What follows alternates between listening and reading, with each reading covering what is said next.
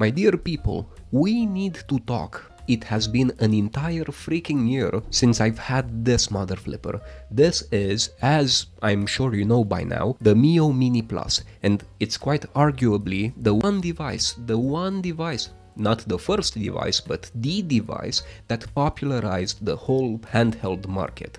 Actually, it's smaller brother, the normal Miyoo Mini, showed to all of the companies out there that there's a market for emulation handhelds, that there's a lot of us, a lot of zombified, nostalgic, handsome and smart people that would buy things like these. So this prompted me to appreciate this little device last night. I suddenly found myself at around 3 am looking at this little guy with its screen turned off, I wasn't even playing it, just sitting there and appreciating it like some sort of obsessed raccoon which couldn't get over the fact that this thing caused so many waves. And yeah, we're gonna talk about the Miyoo Mini Plus today.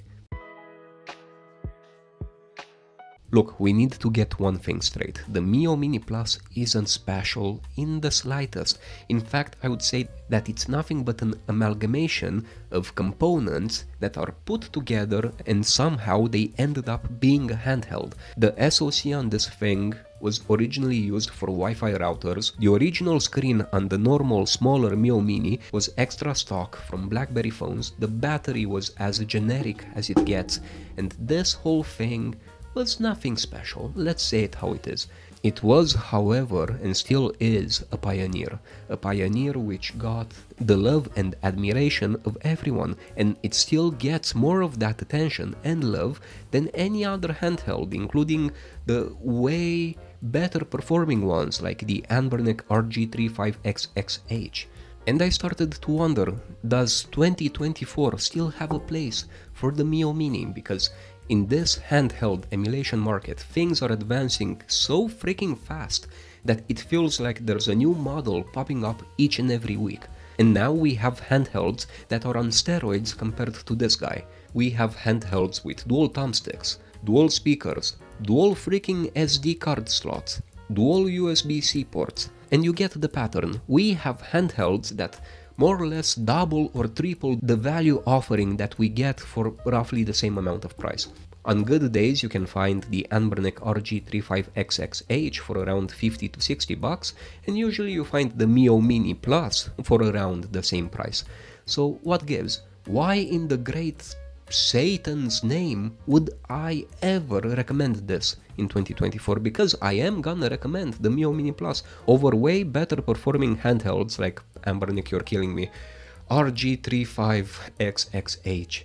Well, the answer is simple. It's because of the software. Quite frankly, as people, we tend to look at the hardware. We tend to look at the performance sheet, at how many systems can it emulate, how good the battery life is, the speaker quality, so on and so forth. I could go on forever with this. But we forget about crucial things that make a product so freaking awesome that you feel it was touched by God himself, or rather God was touching himself when he created this and that amazing sauce that makes a product awesome is and always will be the software. And this little guy has Onion OS.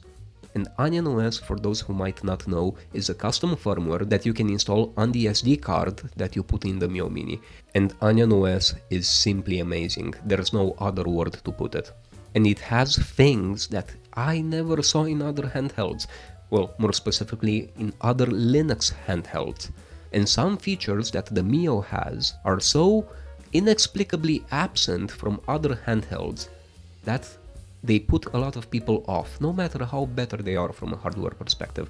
For example, Onion OS, just like Garlic OS, which still hasn't appeared in a stable form for the Anbernic RG35XXH, both of these custom firmwares, as far as I know, are the only ones which have Hibernate functionality. And you might ask, what is Hibernate? Hibernate is this. Look at the screen, I'm pressing the off button, and it's off, but it isn't really turned off, it's in a hibernate form meaning that if I turn it on 2 months from now, 10 months from now, 45 years from now when my grandson finds this semi buried in a half torn down house, he will be able to turn it on and he will continue exactly where I left off with my particular game, which I played so many years before. Think about this. How awesome is this? We are adults. We have responsibilities eating us alive. It breaks down our mental health. It takes us out from our happy place, from our I just want to enjoy life and be bubbly and have hope for humanity and for myself kind of mentality.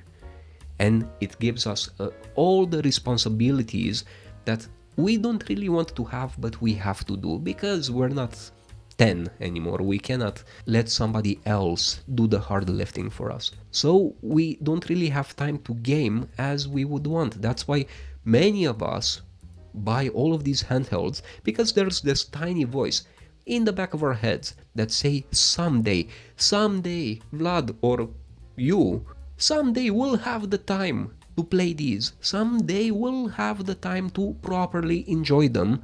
In the meantime, I'm gonna keep them around for when this fantastical fairy tale dream takes place. But it will never take place because we can only play them once in a while. We can only play them in short chunks of time. We'll have 15 minutes here 10 minutes there. We'll think we have half an hour now but oh god we need to make a quick dinner or something or fix the car or fix our marriage or fix the child fix the or fix the cat i think don't fix the child you get the idea Point is, most handhelds go in standby. For example, custom firmwares for the Anbernic RG35XXH Anbernic, please change the naming scheme. You are driving me up the freaking wall. But most of these handhelds, regardless if they have custom firmware or not, at most they have kernel level standby and they never have hibernation implemented. Meaning that in the best case scenario, a kernel level standby will continue to consume electricity. You'll roughly lose 6% of the battery per hour, which you might think is good or bad. I personally think it's horrendous, because I remind you, I can put this little guy in hibernate and he can literally be turned on 400 years in the future. This little guy can be turned on literal months in the future and he will still have battery and he will still be right there for you to enjoy. You won't have to worry about anything. Having Hibernate in a handheld like this is such an anxiety killer. It's amazing. I wish other handhelds had Hibernate. I will literally do jumping jacks and dedicate my life to figuring out quantum physics and space travel if only the guy behind Garlic OS would hurry up and release a stable version of Garlic OS 2.0 for the next generation of Anbernic handhelds. But I doubt this is gonna happen. I actually have this suspicion that he might have given up on this effort. But until then, the Miyoo Mini Plus will never, ever not be relevant. The Miyoo Mini Plus will not fade into irrelevancy. This will always be the perfect pocket warrior your best e-waste friend which will never want to retire. You can take it anywhere with you. You can go on a vacation with your family. You can go to the Grand Canyon. You can play it on a freaking rock in the Grand Canyon and you will genuinely enjoy yourself because the hibernate functionality allows you to have as much battery as you need when you need it. It's so damn easy to forget that your handheld is in standby and when you turn it on 10 hours later, you realize you have 6% battery left, but not with this guy. This guy is the best friend that you can have in your handheld collection.